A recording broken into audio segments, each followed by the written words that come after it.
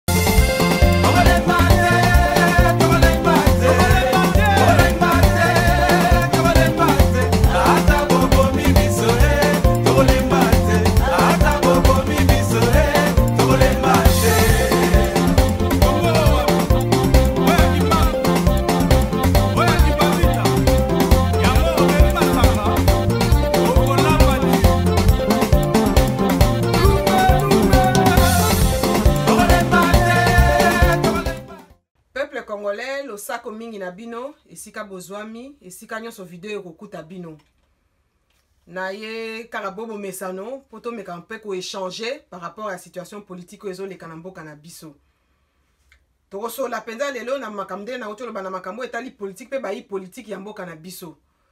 Toza komona pe toza koyoka nungu nungu biso nyonso projet ya FCC, projet oyo FCC aza nango oyo balingi ba faire voter loi pona euh, election ekoma na suffrage indirect.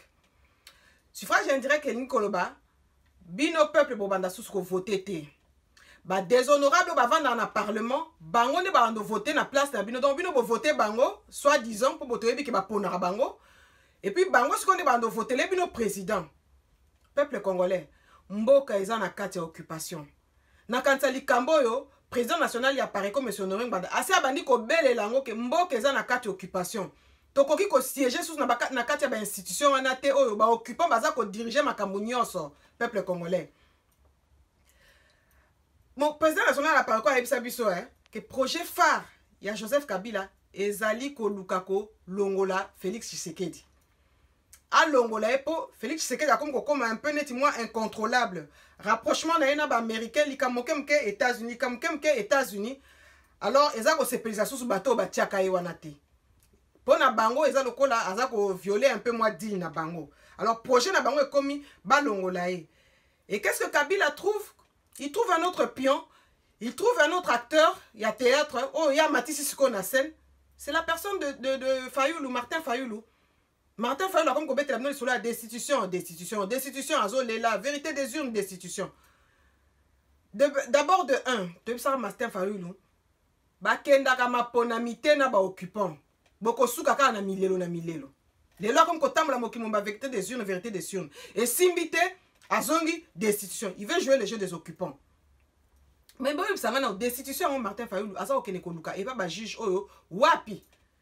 bajuge oyo basungaka eh, félix asala ye excusez-moi asala ye hold up électoral kaka ba juge wana nde epai na bango martin fayulu azongi naka naka naka akei kaka epai na bango batala ke félix aviole constitution eke baluka kodestitue peuple congolais bapolitisien na biso bazowumba biso tofongola miso totikala mobilise bango nyonso nde baza wana baza kojoue rôle baza bafigurant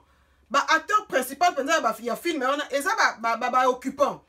bashina rambo baruberwa kagame moko apartir ya kigali bango nde baza baganga ba, ba filme nde baloba na lingala ganga filme akufaka te bango mpenza nde babangisaka na kati ya filme hein? comment se fait-il que ole na minute oyo félix na fayulu ole basangana batala nano intérêt ya peuple babi non tosangana nano bawumbaki biso mbala liboso na genève bakabolaka biso mpo genève wana bango nyonso bakendaka même félix est allé à genève or genève ezalaki focop mpo na biso peuple la je, likopa ya genève ezalaki mpo na intérêt ya congo te bakendelaki baintérêt na bango bandongwani kuna alors bateni ba retenir leçon fayulu akanisika kosala différemment na félix na minute oyo basangana na peuple rien du tout bakomi kosuki kowelela baintérêt na bango fayulu trouve un allié théodore ngoy théodore ngoy aza allié ya kabila fayulu est censé combattre Kabila parce que bango na Felix ne basalaka pe association pour ça les hold up électoral. Mais yaki ko s'associer na Theodore Ngoy. Theodore Ngoy allié à Kabila. Trouvez l'erreur. À quoi jouent ces politiciens? Peuple congolais, bokabwana na ba politiciens na bino. Bokabwana na bango parce que baza ko jouer jeu à ba occupants. Et eza ko arranger biso te. Biso nde bazo boma. Biso nde tozo massacrer, bazo violer des peuples. Hein? Bokabwana na ba politiciens na bino wana. Boyebisa ngai loi nini oyo Felix na udps na ye soki kabila a décide mpenza a faire voter loi moko na parlement bango bakokoka kocontre yango ils sont minoritaires voilà pourquoi nazobaki baza kaka bafigurant ils sont minoritaires ils vont rien faire bozela rentrée parlementaire yango ezoya te loi sakata na minaku ekozonga na mesa makambo ya ronsar malonde ekozonga na mesa mpo baoccupant basilasi baclôturaki dossier wana te peuple congolais tozala mobilise tofungola miso hein? tofongola misu fayulu atika kodistraire peuple tozala mobilise tosoutenir docteur mukwege que ce soit à l'intérieur du pays que ce soit à l'extérieur du pays totya mukwege maboko bamanifestation nyonso ekosalama par rapport à rapport mapping il faut tosoutenir yango il faut bafongola rapport mapping il faut bacreye tribunal pénal international ya congo mpo na kosambisa bango na makambo oyo basali parce que na kati ya rapport mapping balobi makambo nyonso banani baboma esika nini baboma batangi bango nyonso yango bozomona baoccupant bakomi agite banda mukwege abandi kobelela lisolo ya bafongola rapport mapping baoccupant bakomi agite ils sont montés au créneau james camarade abimi asali interview ruben roi abimi ti kagame na kigali abimi ye mpe asali bainterview c'est parce que bango bakomi kotya mukwege mal à l'aise yango wana onu a décidé asoccupe na sécurité ya mukwege basecurisaka kaka moto aza na insécurité bango bazowangana mpo na nini onu alobi ke non sikoyo akosécurise mukwege mpo bayebi bango nde basalaka yoka onu moto asalaka mpo mapingi ayebi comportement na bango ayebi ke bato oso babandi koloba botie bakoluka baleka mukwege alors biso totikala vigilant totika kolanda makambo bapolitien bazomema biso na kati ya badistraction koswana na ntongo koswana na pokwa victimisation tribale tala bataliban ya chilombo arrete de jouer le jeu de l'occupant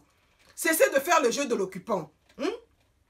victimisation na bino wana ya deux balle ya tribalisme botika yango nano de côté parce que wana eza poison kati na biso eza élément banguna baza koutilize mpo na kosepare biso mpo na kocontre surtout soulèvement populaire et affaiblir biso ba résistants biso bato nde tobelelaka lisolo ya soulèvement populaire eza elama batie kati na biso mpona koaffaiblir biso restons vigilant peuple congolais totikala vigilant totika makambo wana ya o oh, ngai naza moto ya boye o oh, ngai naza moto toza bacongolais biso nyonso tomitya nano esika moko totala interet ya mboka na biso restons mobilisés car notre pression commence à payer rapport mapping doit être mis sous les projecteurs il faut eza ebima na poisa ingeta peuple congolais